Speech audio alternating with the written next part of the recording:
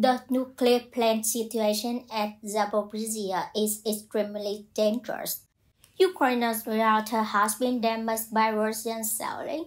The UN has called for the international inspector to give an access to the nuclear power plant in Zaporizhzhia, Ukraine. The U.S. Secretary of State Antony Blinken has accused the Russians of using the plant as a nuclear shield, saying, "Of course, the Ukrainian can fight back lest there be a terrible accident involving the nuclear plant. That has allowed Russia to target a region like the city of Nikopol across the river which has come under heavy shelling in the recent weeks.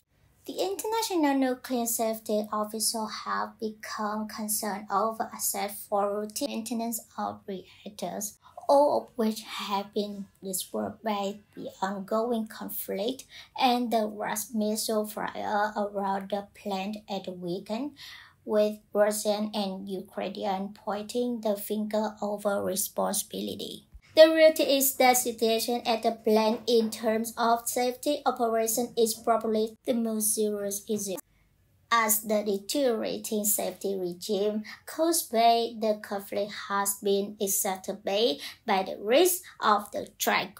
The head of the International Atomic Energy Agency, Rafael Mariano Grossi, described the ongoing crisis of safety oversight as the direct threat to public health and the environment in Ukraine and far beyond its border, discredited the situation as completely out of control.